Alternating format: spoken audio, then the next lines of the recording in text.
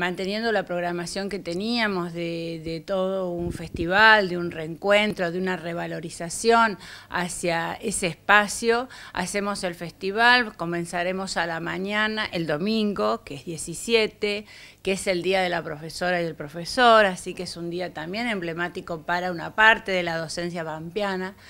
Eh, vamos a empezar a las 10 de la mañana con la realización de un mural sobre madera, que lo van a hacer los artistas plásticos y bueno, nosotros ayudaremos ahí.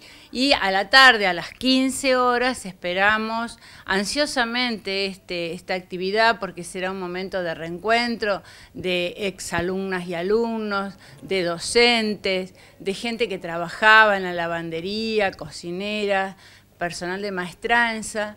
Y entonces eh, a las 15 empieza el festival con un coro de niños y otros artistas que, que, se han comprometido en asistir y estaremos hasta las 5 de la tarde, 6, según cómo se desarrolla la actividad. Así que invitamos a toda la población de Santa Rosa, porque la es escuela hogar, eh, tiene un sentido muy emotivo, muy cariñoso hacia toda la, gente de Santa Rosa, pero también de La Pampa.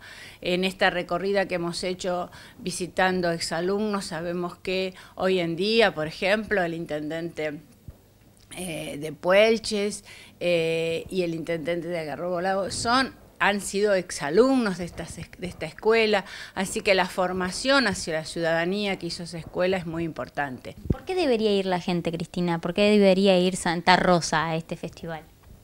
Y a mí me parece que Santa Rosa tiene que estar presente eh, porque la S Escuela Hogar eh, es un, un, hito muy importante dentro de lo que es la educación argentina. En aquel momento cumplía una función social, educativa y, política, porque de eso estamos hablando, de la posibilidad de que eh, niñas y niños que no tenían las escuelas cerca o que sufrían algún tipo de situación de mucha vulneración podrían estar ahí recibiendo lo que todos los argentinos debían recibir, que era la educación eh, general básica. Y, eso les abrió la puerta a, muchas chicas y chicos a seguir estudios eh, universitarios o a seguir estudios terciarios.